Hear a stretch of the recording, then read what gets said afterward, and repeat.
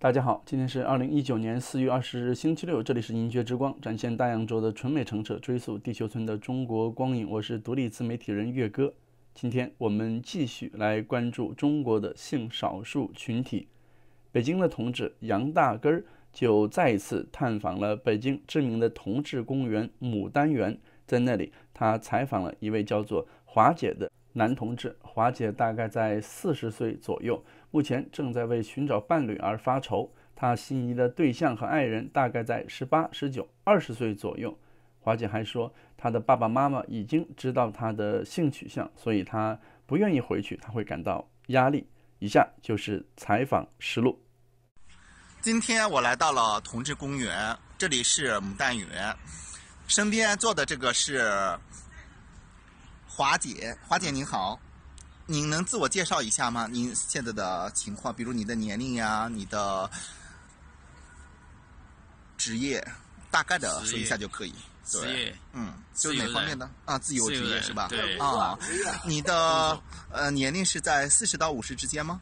四十啊，四十是吧？对啊，你到这个圈子里，你目前来只是单身，对是吧？那你找找到另一半的有啥要求吗？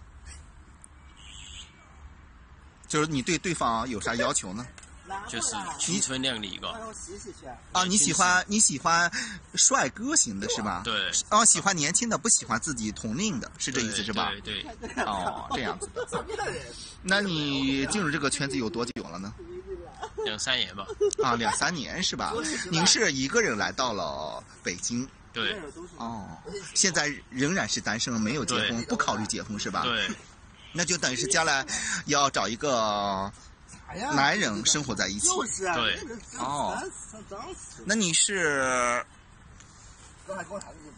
一还是零呢？是和或者是攻还是受呢？死了。你是被动型的还是主动型的呢？在这个主同志圈里动型的，啊，你是主动型的哈，对并且你要找一个帅哥型的，对，在年吧，呃，在大概年龄，对方的年龄在十在八九二十二十岁，哦二十岁，那就是你喜欢学生了，对。学生型的是吧？。对。哦，那确实是。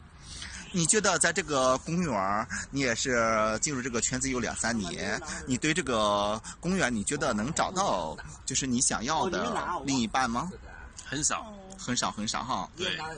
几乎都是一夜情的，对，很那少，真的是太难了哈。对但是你还是渴望有自己能找一个固定的朋友，对不太喜欢那种一夜情是吧？对，哦，那你对这个健康有啥约束自己呢？比如说，假如说你突然喜欢在公园遇到你的另一半的话，你会跟他发生性关系吗？会会采取措施吗？会，不带套，不带套的话太危险了，对是吧？对嗯，我觉得华姐是在这个圈子里也是一个有有名人士哈，所以说我觉得以你的形象的话，找一个年轻靓丽的话也是很容易的，对吧？对嗯。是的，是的。其实华姐，我觉得呃，我们也是认识好几年了，你今天能讲出自己的心里话，也是一个很不容易的一件事情哈。对，你是很内向哈，嗯对，哦，不是那么张扬的，你现在出柜了吗？家里人知道你吗？没老婆没孩子，对单身，就我知道你是单身，就说你的父母啊那些知道你这种倾向吗？应该不知道吧？哦，知道已经知道了，你出柜了。知道，所以我哦不不愿意回去，回去呢都知道，啊所以我不愿意回去。啊，就是等于是家人都知道你的身份以后呢，他们很排斥你了。对，那那那那那个地方人都知道，哦，那已经所以说你不能回去，回去呢都知道。